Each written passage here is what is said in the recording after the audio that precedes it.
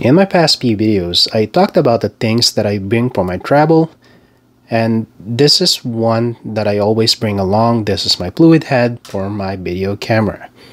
Of course, when you're talking about travel, you're talking about portability, something to make everything light, something to make everything compact, and uh, well, this is not it. This is not light, this is not compact, and yeah, I'm always looking for something better, and so I found this product. This is the NEEWER GM27 fluid head.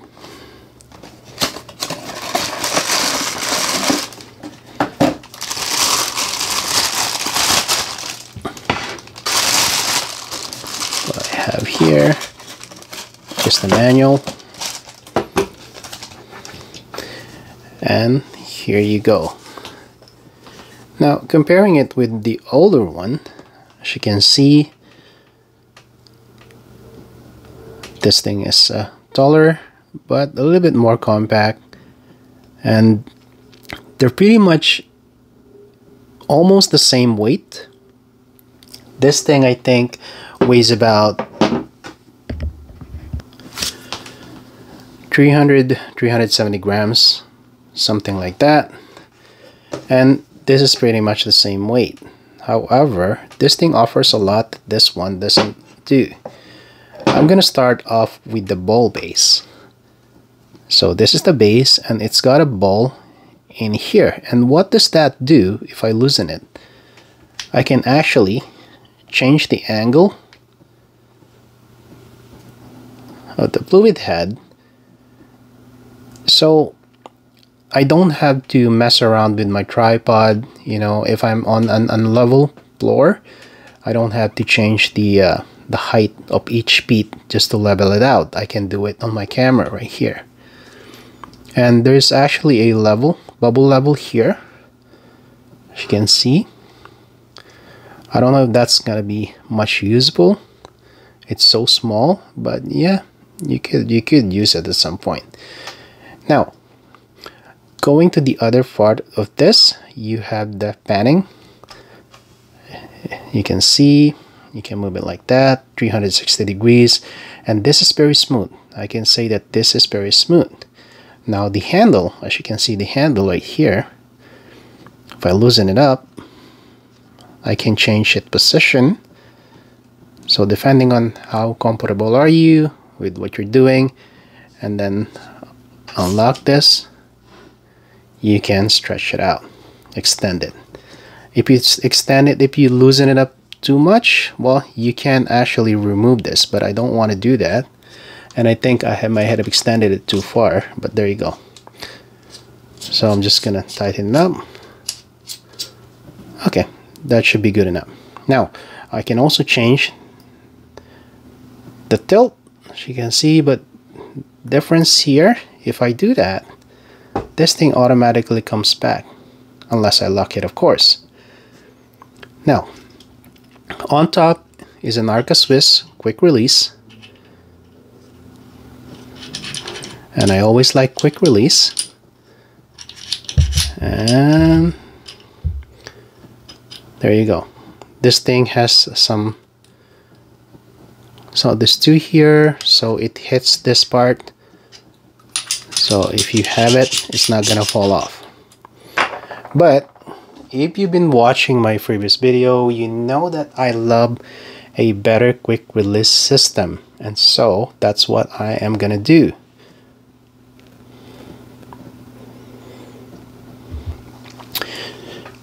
So what I'm going to do is I'm going to use my Falcam quick release system. Put it here. Gonna make sure that it's tight because one thing that this one doesn't have are these two screws at the bottom. So if it's not tightened up it could loosen up. So what I'm gonna do is I'm gonna tighten up. Give me a sec here.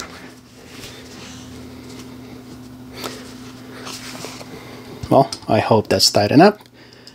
And voila. What I'm going to do is if I can find my sub right here.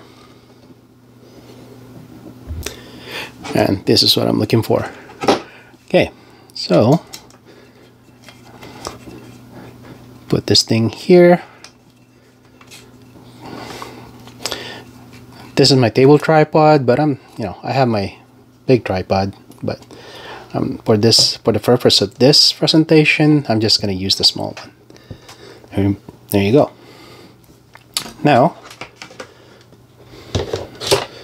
now that's a true quick release system and tighten things up. And here you go. As you can see the ball head here allows you to make all these tilts. So if I go here and I'm checking if it's fully level and then once that level I can tighten it up I can tighten it up like that. Here you go. So now that it's level I can change this. So look at that how smooth that is. And again depending on what I'm doing I can change this.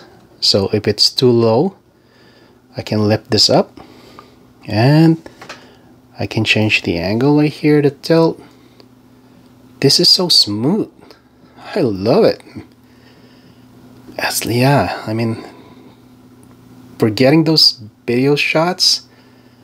Wow this is amazing. This is amazing. And I tight, let's tighten that up. So now the tilt is locked. I can still have my padding right here. Now according to their website this thing has a capacity of 4 kilograms. Mm, that's a lot or 8.8 .8 pounds. And I mentioned a while ago this is about 300 this is actually 370 grams. And the handle length you can extend it from 5.7 inches to 9.5 inches. That is so nice. And with the Falcam system that I'm using uh, I this is actually converted into a real quick release system like that. Amazing. There you go. Of course you can lock this thing so you can't push it. There you go. And now I could test this so let's see. I'm gonna loosen it and I'm gonna let it slide. Is it gonna fall? There you go. It is holding it I'm a little bit worried because my Falcam doesn't have this on both sides so the only thing is you really got to tighten it up. You got to make sure that this is really tight so it's holding up the Falcam you don't really need it.